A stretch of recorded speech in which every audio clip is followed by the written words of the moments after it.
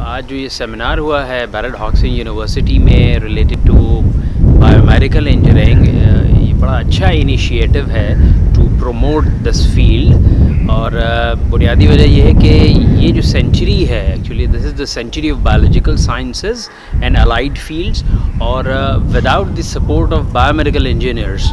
so जो clinicians हैं physicians हैं सर्जन्स हैं, वो वो हैंडीकैप हैं एक तरह से। तो अब बायोमेडिकल इंजीनियरिंग इक्विपमेंट जो हैं उनकी एप्लीकेशंस क्योंकि डायग्नोस्टिक्स में है ट्रीटमेंट में है।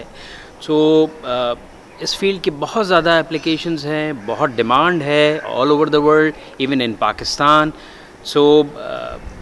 मैं स्टूडेंट्स को और प्रोफेशनल को इनक्रेज करूँगा कि